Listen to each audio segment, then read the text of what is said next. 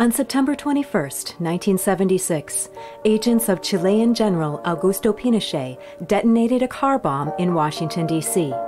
Victims Chilean resistance leader Orlando Letelier and American Ronni Karpen Moffitt were on their way to work at the Institute for Policy Studies. Ronni's husband Michael survived the attack. For 30 years, their families have fought for justice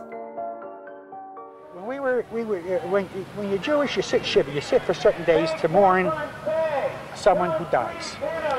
I had a rabbi come in, a friend, was a friend of mine, and he said, you have to understand, it's no, it, this will be no consolation, but nothing worse can ever happen to you in your life.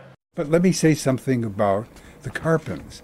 They were members of a community in which people came to them for advice, for free food.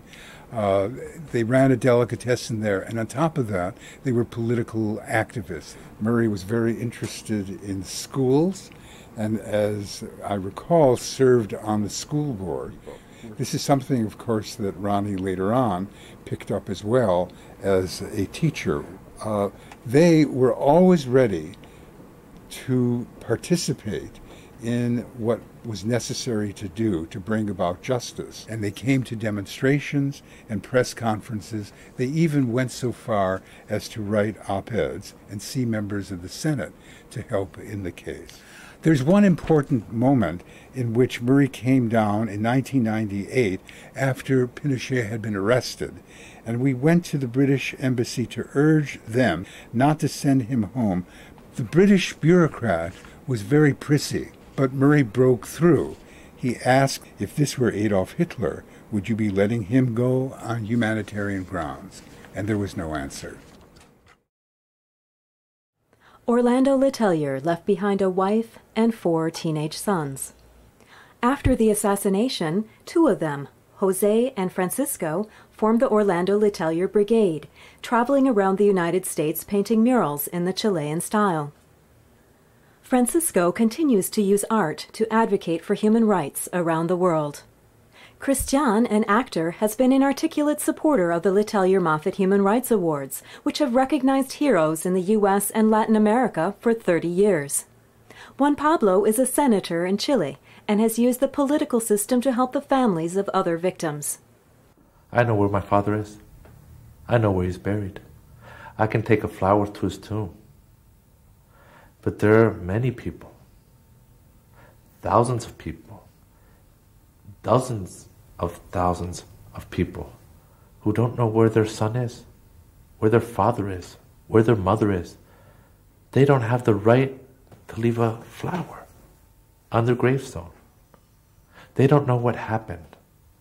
Now that's a tragic benefit I have. But I feel very guilty.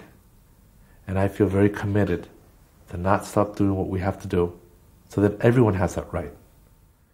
Isabel Letelier worked at the Institute for Policy Studies for 14 years after her husband's murder, running a Third World Women's Project and becoming a worldwide advocate for human rights. Fabiola Letelier had already begun to work against Pinochet's barbaric practices before he ordered her brother killed. Today, as one of Chile's leading human rights attorneys, she continues to press for full accountability.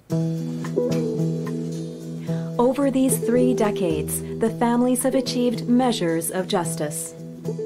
First, the FBI arrested the assassins, one U.S. citizen employed by Pinochet and a gang of anti Castro Cubans he recruited. Then, Chilean courts convicted two generals who had organized the Letelier assassination. But the families refused to give up until the man ultimately responsible faced trial.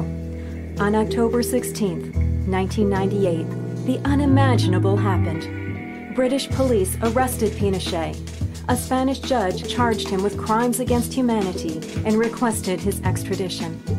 Public pressure moved the Clinton administration to declassify documents on Chile and sent FBI agents to collect additional evidence that Pinochet had ordered the Letelier assassination.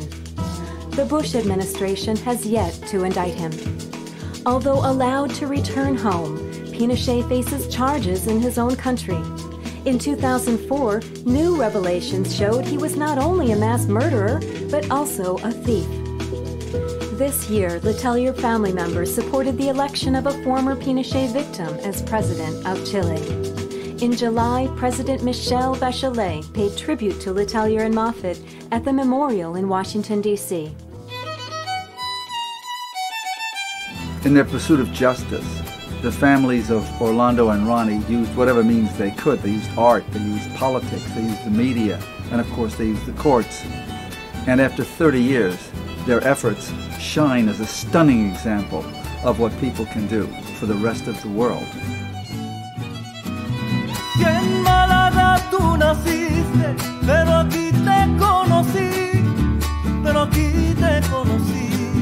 Si en Málaga tú naciste si en Málaga tú naciste, pero aquí te conocí, pero aquí te conocí. Si en Málaga tú naciste,